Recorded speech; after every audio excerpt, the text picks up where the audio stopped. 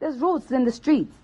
You're not gonna be selling drugs. You're not gonna be committing crimes, and the the the the crimes that you commit commit are street crimes. And then when you get locked up you're going to snitch. It doesn't work like that. Like you have a like it's like you have an option in life to be good or bad.